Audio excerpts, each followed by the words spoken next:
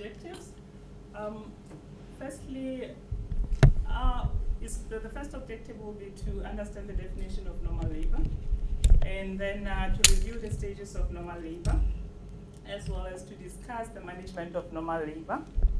Then uh, to integrate the clinical evidence and expertise, as well as to review what is known already about um, patient needs and values. So what is normal labor? WHO Technical Working Group uh, defines normal labor as spontaneous regular contractions causing fetus and placental expulsion. expulsion. And this occurs at 37 to 42 weeks, and it remains uh, low risk throughout. And um, the fetus has to be in cephalic presentation, and at the end, there has to be good maternal and uh, neonate condition. So initially, WHO recognized active labor as um, cervical dilatation of uh, three centimeters going forward. But this changed in 2018 when they did the um, WHO labor care guideline.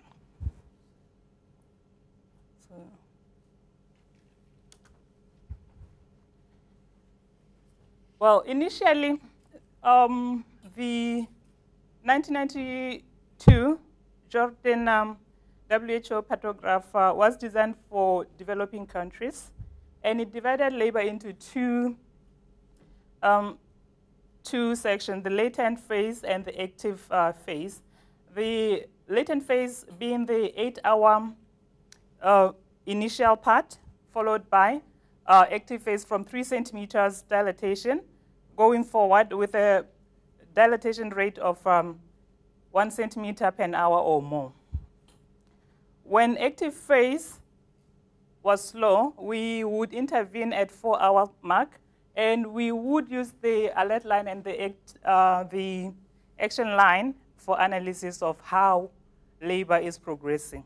So this gave more like a, a picture where you could have an eyeball of what exactly is happening with the patient. And um, in uh, 2013, uh, Lavender and colleagues showed that um, interventions at the two-hour marker compared to the interventions at uh, four hours marker had no impact on the C-section rates. And they also advised that uh, the partograph should not be used in standard uh, management of labor.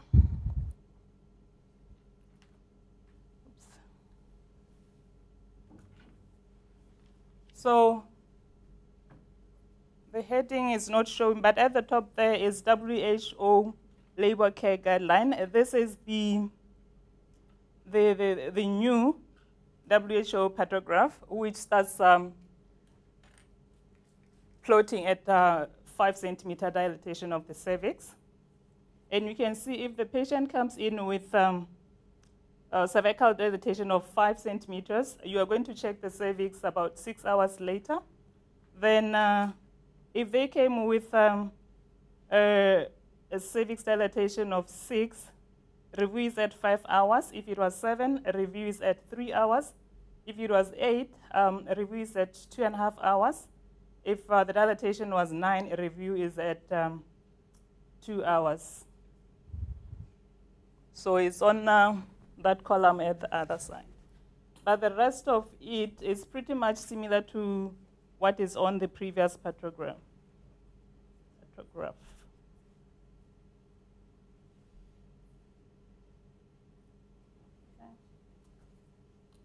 So research that influenced uh, these changes that we're seeing. Um, the article that was written by Cecily M. Begley in 2014 showed that um, the interventions um, that we do in labor have benefits, and uh, most of them do cause uh, morbidity as well. And um, Oladapo and colleagues in 2017 showed that um, a cervical dilatation of one hour per hour is unrealistic as um, different patients um, progress differently. And in uh, um, 2018, uh, the Cochrane database review, uh, also by Lavender and colleagues, had shown that the, the partogram had no proven improvement on um, labor outcomes. So the other articles that are there, there is one by uh, Salman Johnston, which showed uh, that uh, normal delivery does occur at 37 to uh, 42 weeks. And uh, Finay and colleagues uh, talked about the timing of admission, timing for admission, which is unclear, and um, but you do admit the patients who are in labor.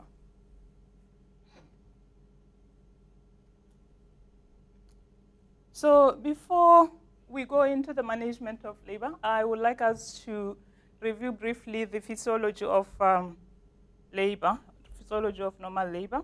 And with this, I'll start off with uh, dividing parturition itself into four phases. With the first phase being the most part of the, the pregnancy itself, like 95% of the, the pregnancy. And this will be followed by phase two, um, where we start seeing changes. And uh, phase three is mostly the three stages of labor. And that will be followed by phase four, which is recovery, or what we normally call the fourth stage of labor. So phase one is the preparatory phase. Like I said, it's 95% of the pregnancy itself. So this is 36 to 38 weeks um, of pregnancy, where the myometrium is in quiescence uh, state.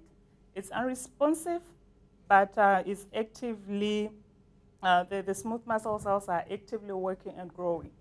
So this phase is regulated by the neural, the endocrine, the paracrine, and the autocrine signals.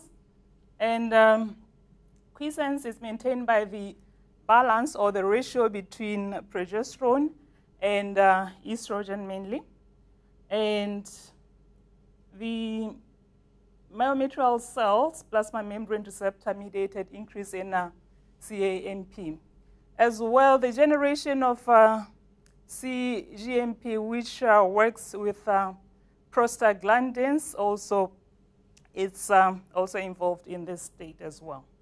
So there is a balance between the relaxation and the um, contraction, uh, relaxation and the contraction of the smooth muscle cells, which is by the peptide hormone transcription of uh, the key genes in the, smooth, in the smooth muscle cells. So after the quiescent stage follows the um, transitional phase where unresponsiveness is suspended. And this leads to cervical, um, uh, the, the, the, cervical ripening and effacement and also loss of uh, cohesion. So there is change in the matrix of the, uh, the, the, the cervix, the stroma of the cervix itself. So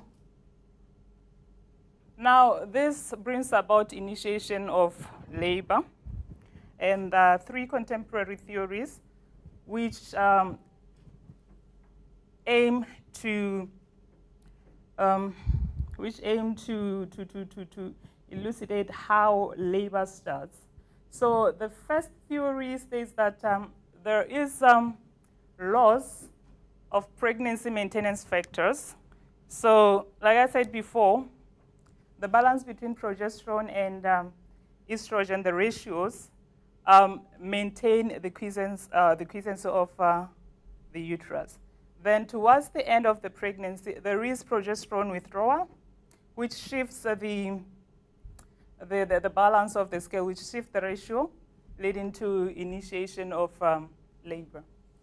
So this was also it is in part supported by the work that was done by Wolf in 1993, where it, uh, it showed that mifepristone softened the cervix, and also it increased the um, sensitivity of uh, uretonins, um, the smooth muscle cells sensitivity to uretonins.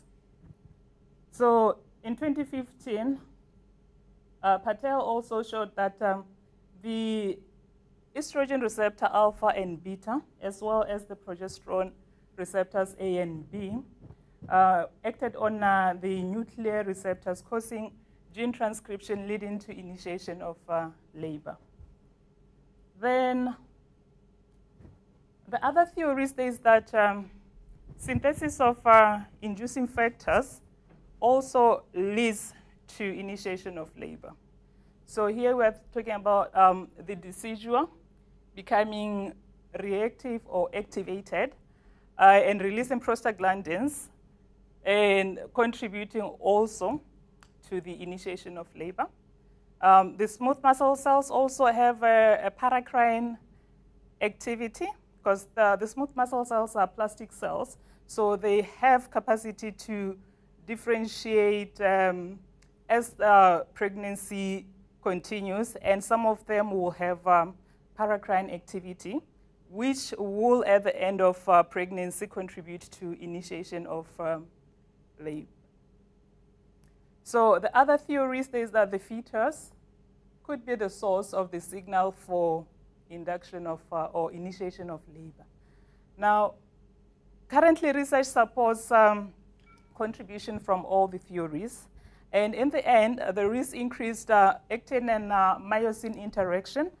And this leads to increased smooth muscle cells excitability, as well as increased um, crosstalk between smooth muscle cells leading to contractions. So this is a summary of um, the, the, the, process that I said are involved, uh, the theories that are, are involved in uh, initiation of labor, the fetus being the signal, the mother there, and the placenta also being the source.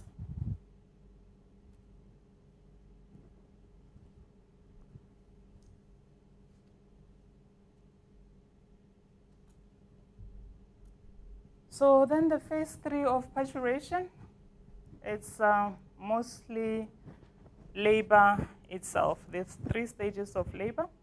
And here I'd like to briefly talk about the mechanisms of labor, which um, mostly the, the positional um, changes that the presenting part uh, attain uh, while navigating through the pelvic canal.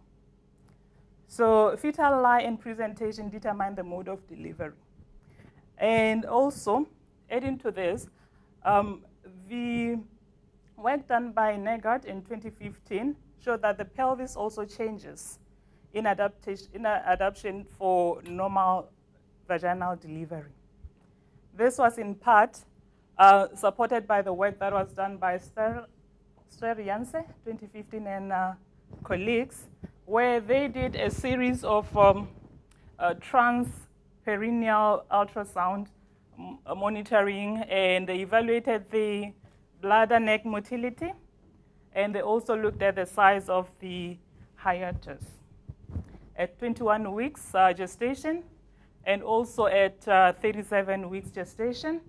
Also postpartum, they looked at it at six weeks um, uh, postpartum, and six months postpartum, then a year later. This is for patients who delivered uh, vaginally. And they found that um, at 37 weeks gestation and at six weeks postpartum, there was the largest uh, increase in the hiatus um, area. And at uh, six months postpartum, the perineum, perineal muscles have, had kind of recovered and they were comparable to the state at uh, 21 uh, weeks gestation. But going forward, there was no further improvement. Now, with this, Nygaard um, classified or coined that um, vaginal delivery is a traumatic event.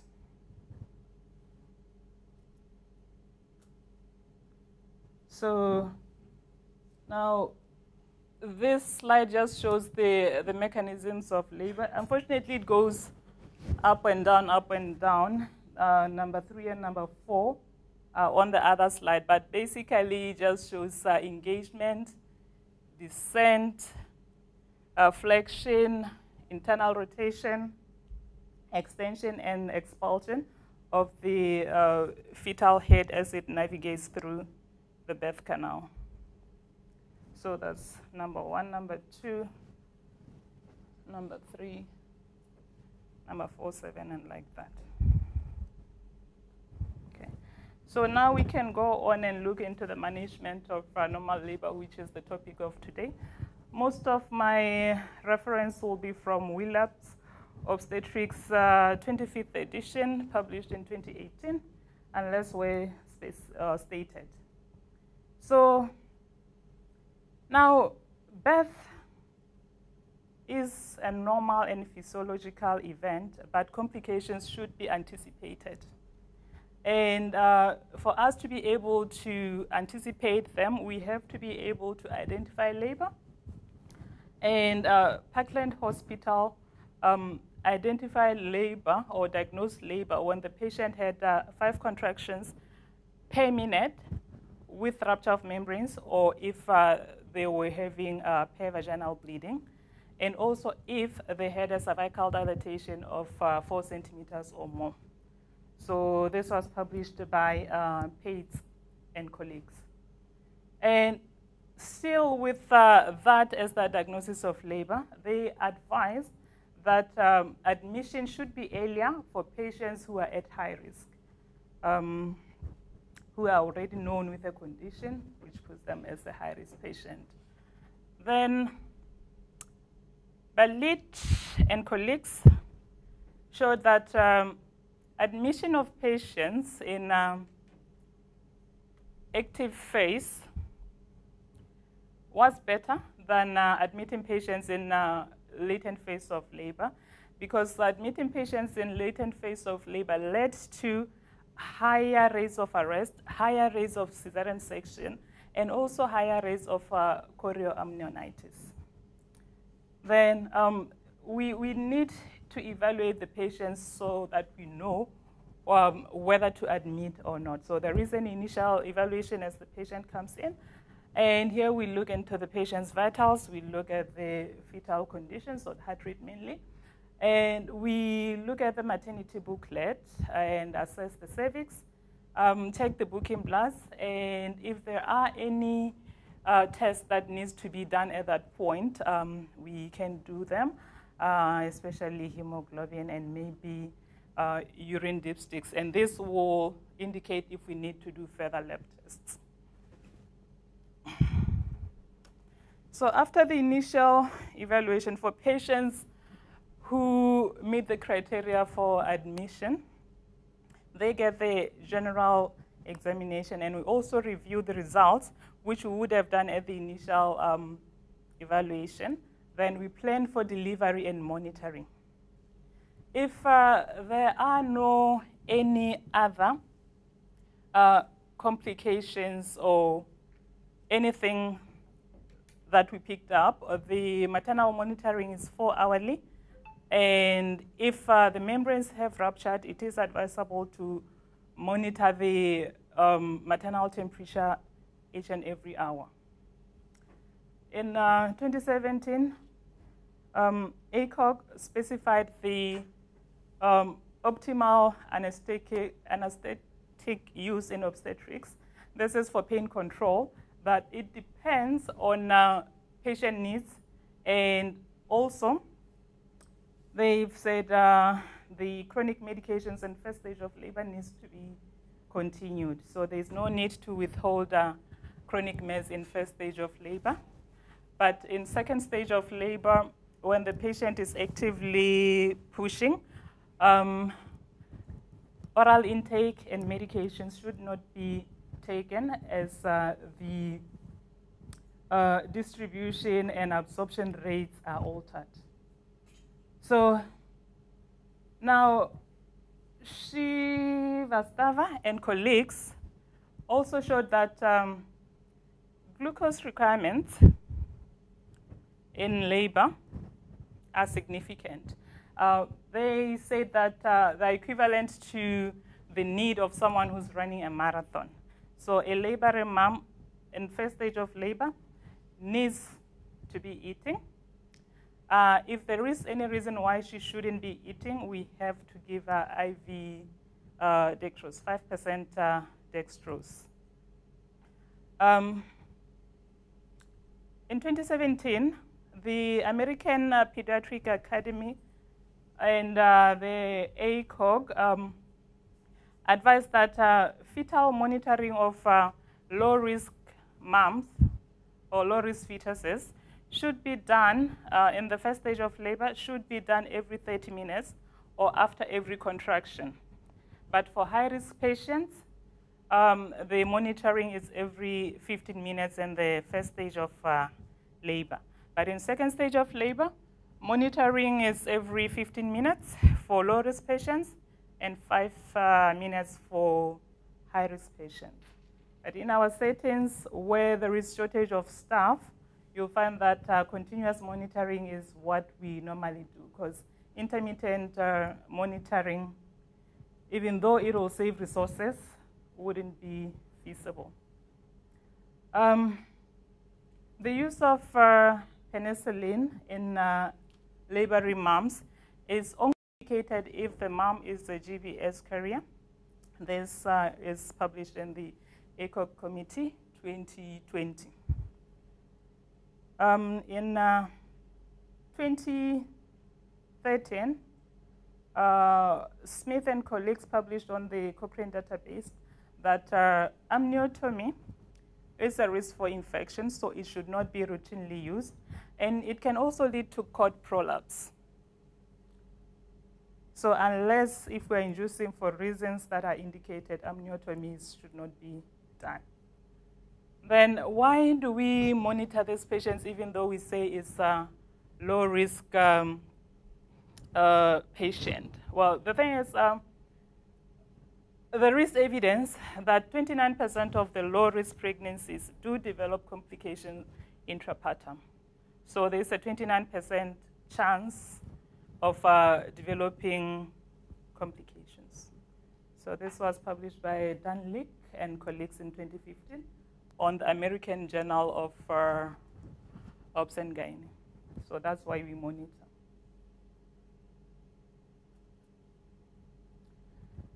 So management of second stage of labor. So second stage of labor uh, starts from uh, 10 centimeter dilatation of the cervix. And um, and colleagues uh, found evidence that pushing or advising the mom to push immediately reduces the uh, length of the second stage.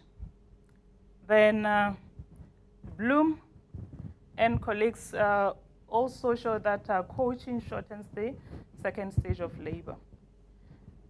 Then uh, in 2018, Bergal um, did research and it led up to showing that the upright positions um, in labor reduces the second stage of labor as well, and also they lead to reduced uh, need or performed uh, episiotomy. So they, they, they lead to the need for episiotomies and uh, operational vaginal delivery.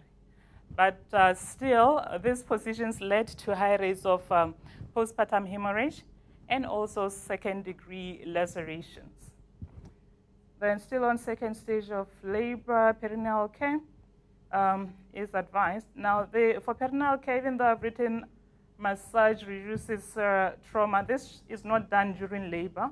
Um, perineal massage is something that is done in preparation for labor, before labor is done, uh, before labor starts. So this uh, was published on the Cochrane Review by Beckmann and Stock.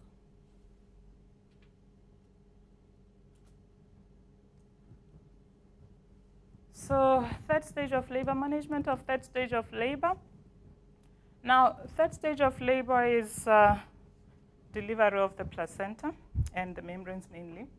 So before cutting the cord, um, the uh, American Academy, Academy of Pediatricians and ACOG uh, found that uh, it is advisable to delay cord clamping by at least 30 seconds. So uh, neonates who had cord, clamping delayed had uh, higher hematocrit when reviewed at six months um, of life as compared to the ones which, um, or who, since now it's humans, who did not get uh, cord clamping. So then after the clamping and the cutting of the cord, uh, we can uh, manage the third stage of labor by uh, active delivery of the placenta.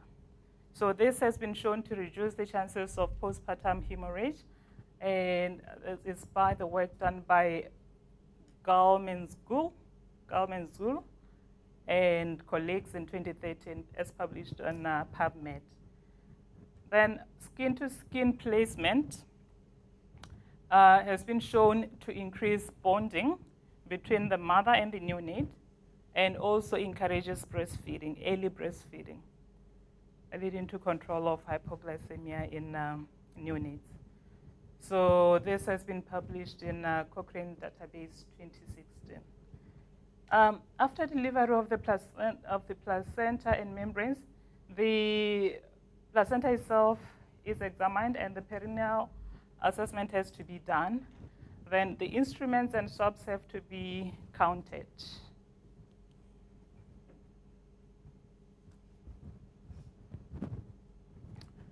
Next, uh, what follows will be completion of uh, fourth stage of labor. So WHO postnatal care guidelines of 2015 advises that uh, all, birth, all births that occurred in health facilities, the mom and the neonate have to be reviewed at, at an hour mark. And for births that occurred outside the healthcare facility, uh, the patient should ideally be reviewed within 24 hours, so they should present within 24 hours.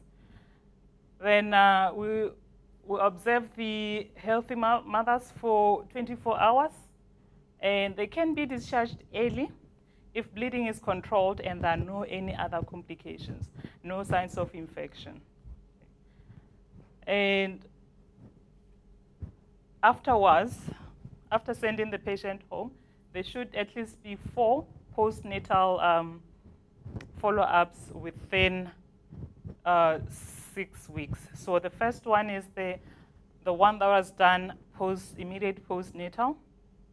Then uh, three days later, there should be another follow-up. Then another follow-up should be between seven days and 14 days. Then the fourth one should be the six-week uh, postpartum. It has been shown that lots of uh, maternal uh, mortalities happen in this period if this is not instituted. So the NICE guidelines of uh, 2021, published in April, suggested an individualized discharge plan into a community midwife. So the patient should be discharged to community midwives. Then still on post uh, on uh, fourth stage, and the patient needs to be counseled on the outcomes of uh, the pregnancy and the delivery. And during this counseling, we should talk to them about postpartum care, uh, involving the physical, mental, and the nutritional aspects. We should not also forget to talk to them about family planning and um, talking about the next pregnancy. If they need to book early, this is the time to tell them why. And yes.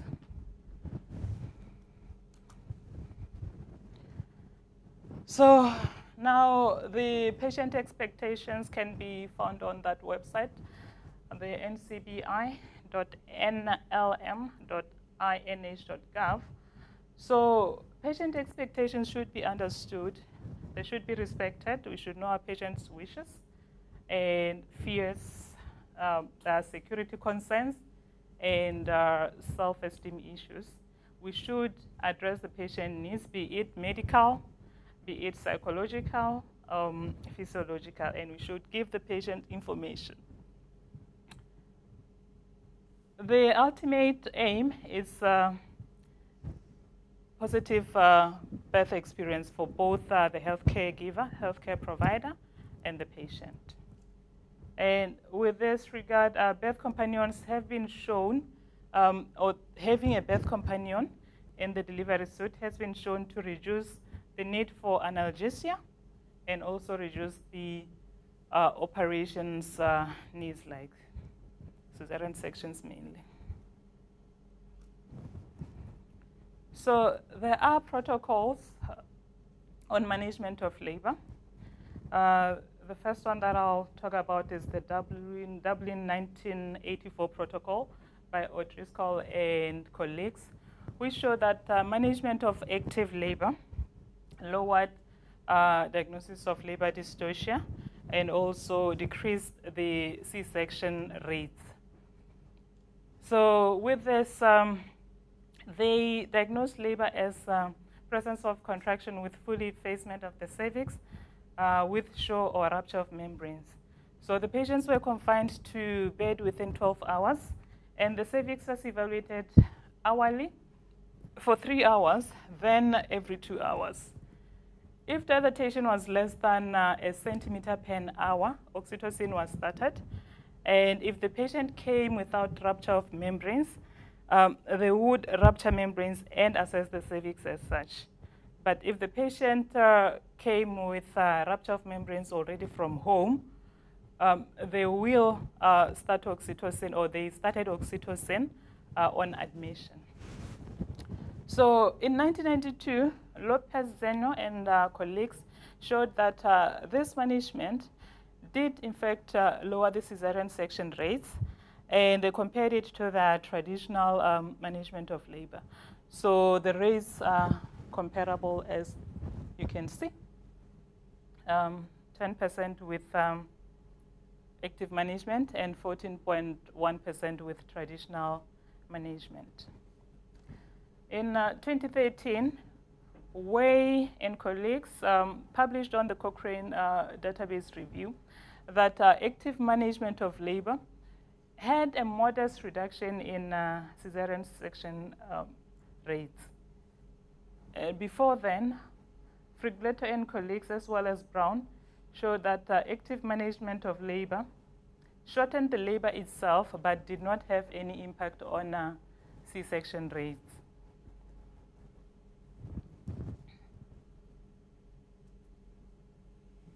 Then the other protocol that's there that exists is the Parkland Hospital Protocol. Uh, with it, uh, in Parkland, they admitted patients who had rupture of membranes or who had a cervical dilatation of three to four centimeters. Then they would examine the cervix every two hours. If there was no dilatation, they would do a rupture of membranes, then monitor the uh, or evaluate the cervix again at uh, two hours. If no progress, they put the intrauterine pressure gauging catheter. And if uh, the contractions were still not effective at two hour mark, then they started oxytocin. The goal here was contraction of uh, contractions of 200 to 250 Montevideo units at uh, two, two to four hours before dystocia was diagnosed. So a cervical dilatation of um, one to two centimeter per hour uh, was accepted, and cesarean sections will be considered after eight hours of instituting this management.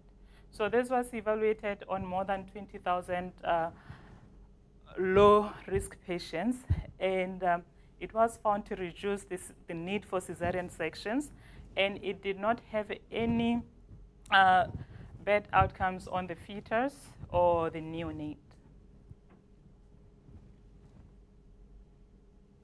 This should be my last slide. Okay. Thank you.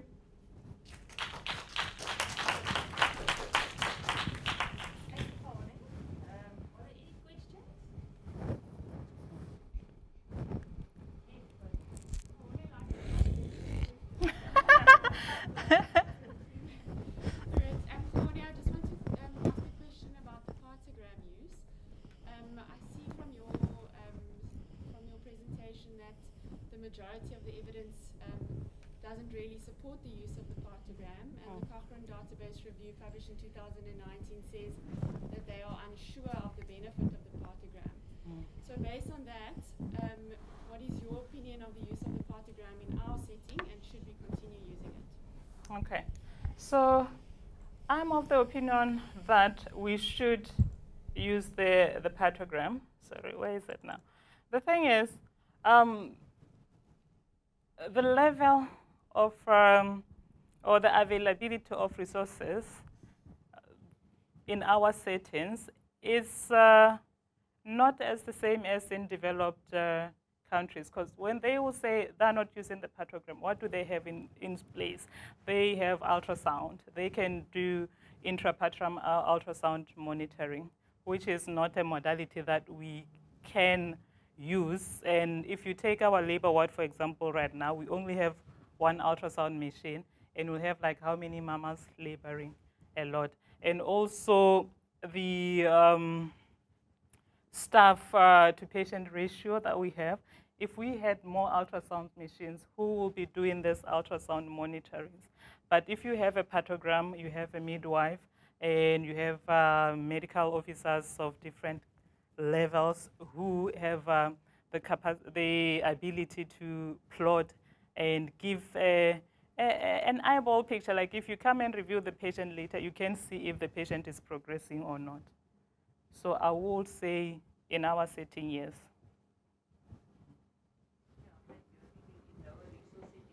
Mm. would be a place for the use of partogram, especially if we don't have one-on-one nursing care and there's change in shift and change in uh, the healthcare providers managing the labour. Get a bit of a more objective Mm. of the progress. Please, Esty. Um, yeah, I want to make a, say one or two things uh, that I was thinking of while I was listening to the presentation. So I partogram lecture to pre-grad students many, many times a year, and I that's why I sort of have to think about it all the time because you get the most interesting questions always from the pre-grad students. So the first thing is yes, there's no evidence probably about the partogram use, but that is they, they focus on sort of the one-on-one or one-on-two type of care. And the partogram is still a universal tool that has use in places with resource limitations. For sure, as long as it's used properly. Because it's supposed to be easy on one page, you're supposed to, with a glance, be able to pick up the, the main problem, which should be poor progress in labour, which is a common problem specifically in developing countries. But, the, but what I want to add is that um, a lot of the developments about labour management and partogram management is actually based on the opposite problem that is more associated with developed countries, and that is the high rate of caesarean sections. So, and, and, and you must all be familiar with the ACOG article and guideline on, on how to avoid the primary caesarean section, and that feeds a lot into all of this sort of evidence-based labour management because ma- many of those developments have been put in place and sort of get attention because they want to get us closer to understanding phy- normal physiology of labour so that we can avoid this overuse of caesarean section. So it's almost like this competing problem in, in developing countries, lots of long labours, obstructive labours, and all of those complications. And a partogram is a relatively straightforward way to pick up when a labour is prolonged. But in a place where the problem is too many Caesars, a partogram is not as obvious. And the whole shift from prolonging the definition of first stage of labour to, in America they recommend six centimetres, but we have, we, in South Africa we say five centimetres. One of the main reasons for that is because there's bigger bodies of evidence now supporting that that's more in line with normal labour, and we want to avoid coming on, you know, coming into a place the next morning and then they discuss the series of the night and then we're not being work for prolonged first phase, late, a latent phase of the first stage of labour. Um, so yeah, so just the, the link between Yes, those two things and how is- it all fits together sort of made sense to me only after I gave the lecture like 50 times and then I was like, oh, so that's how it all fits in together. So yeah, so I just wanted to add that. Thank you, Darren. Any further comments or questions? Thank you for your preparation and your talk, Paulina. Was there another one? Uh, Ross? just want to ask, what is the evidence that you don't have to assess uh, progress of labor for six hours after a patient is now five centimeters?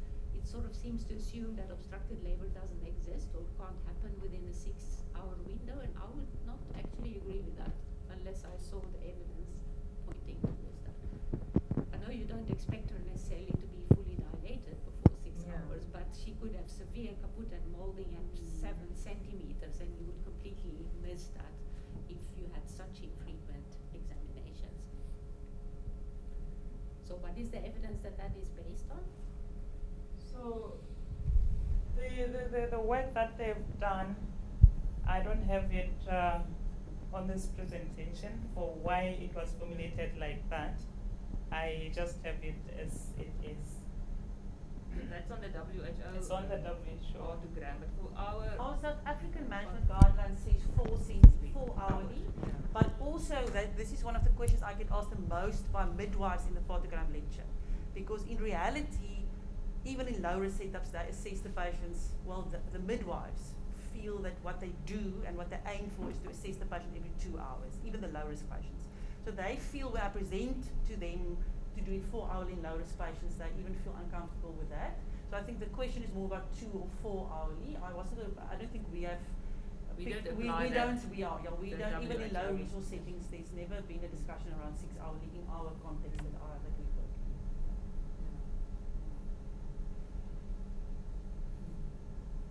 we'll have to look into that phone. Yeah. Okay, thank you.